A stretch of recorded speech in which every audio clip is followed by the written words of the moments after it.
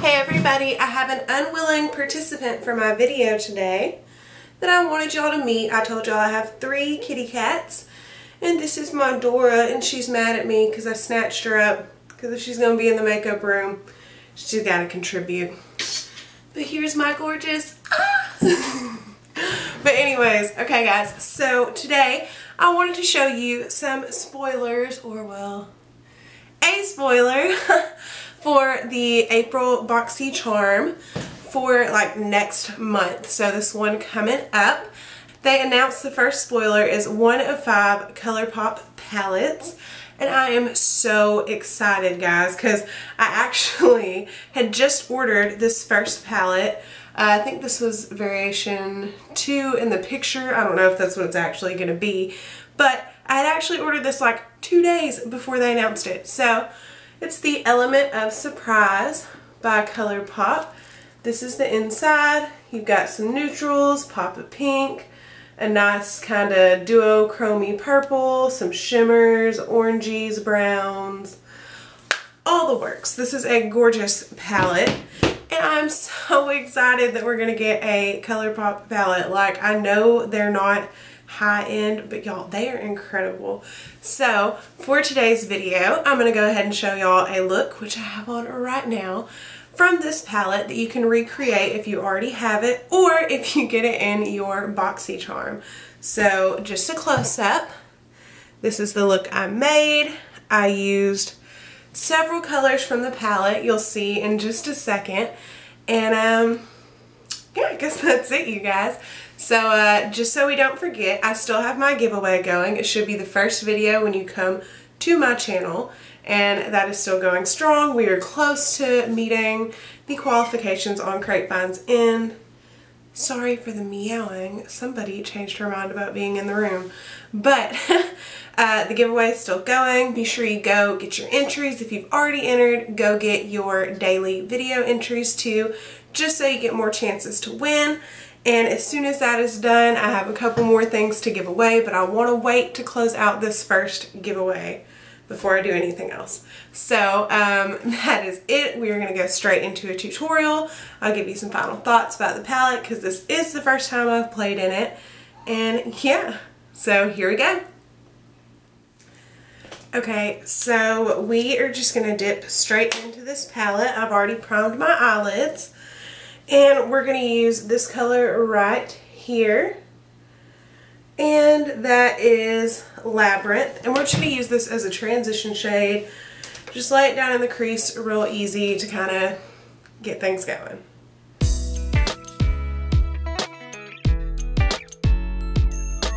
Okay, after that color, we are just going to go into um, this one right here. And this is Silk Street. And we're just going to build that up in the crease even more. This one does have quite a bit of fallout. The other one didn't really though, but this one has quite a bit.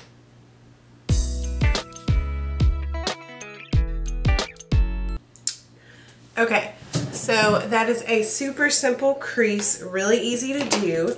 And now I'm just going to take a little bit of concealer and lay it down for a cut crease. Y'all guessed it. Okay, so the crease is cut and I have been dying to dip into this shade. So we're going to take this gorgeous purple here and this is Subdue. And I'm just going to take it on my finger and lay it down.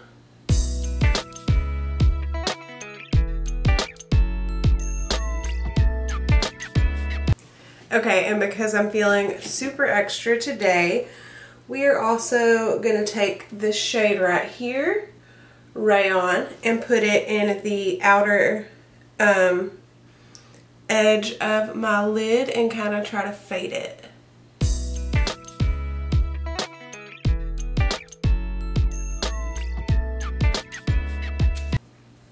Okay, so that faded so good. But I'm going to go ahead and take um, that dark shade I used and just get a couple of these harsh edges out.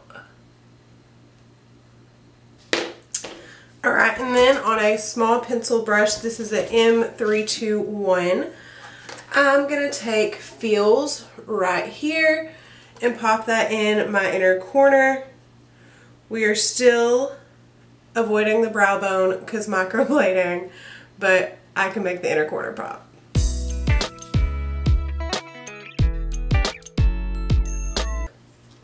Okay, so that actually has like a strange purple tint going on, but I like it. It fits with the look.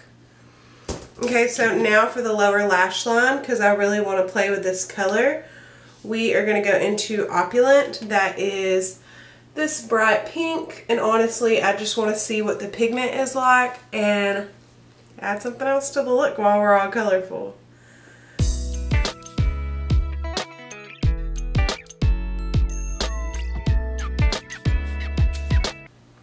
Okay, so I like the little pop that added. That was definitely nice.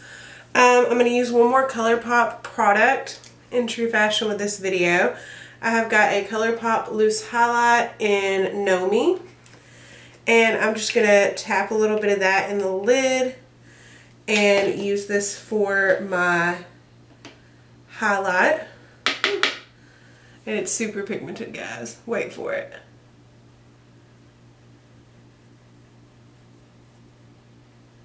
yeah.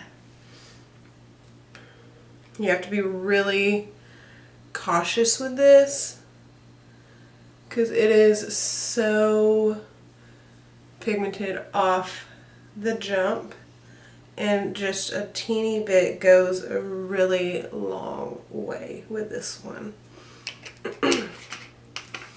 and then to finish off the ColourPop theme, I'm going to use Mrs. or MRS. I don't know. It's from the Karrueche and ColourPop collab.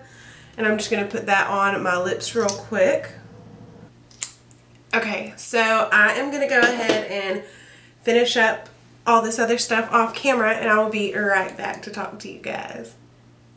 Okay y'all, so I put on some lashes and a little bit of liner just to hide my lash band and some mascara. And I think that is it for this look. I tried out something new with my lashes. Uh, Marissa that I collabed with posted and said that it's easier to put your lashes on if you put the glue on your eyelid instead of on the lash. So I tried it and like it's definitely a better concept and I see where she's going with that.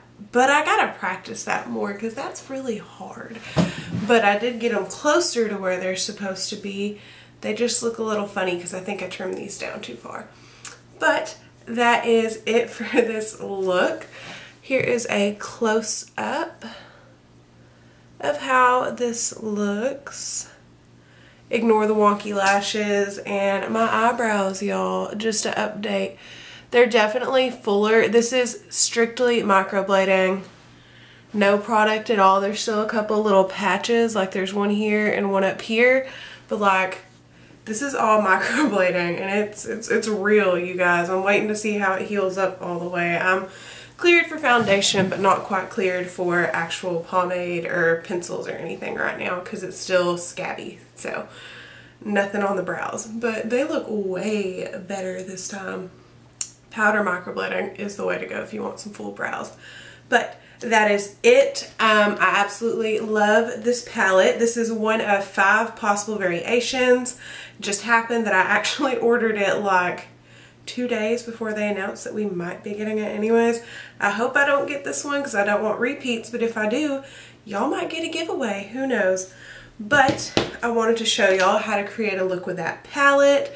I haven't heard any other definite spoilers, but I've seen there may be a pretty vulgar liquid liner in the works. That sounds amazing. I've heard that's a possibility. No promises, but this is your spoiler for April. Um, this is a gorgeous palette and thank you to my Crate Find squad for voting for me to do this one. Um, they voted that this was what they wanted to see out of my new palettes. And I thought about it and I was like, well, it is coming in BoxyCharm, so might as well put up a tutorial so y'all can be ready when it gets in. But yeah, that is it for this video. I hope y'all enjoyed and I will see you in a couple of days. Bye you guys. What? What is hers? Hers so angry. Angry? What an angry kitty. Oh, oh. She says, Mom, put me down. Come on, Mom. Down. No. No, no. Don't get to go down that easy. Got claws, though. Ugh.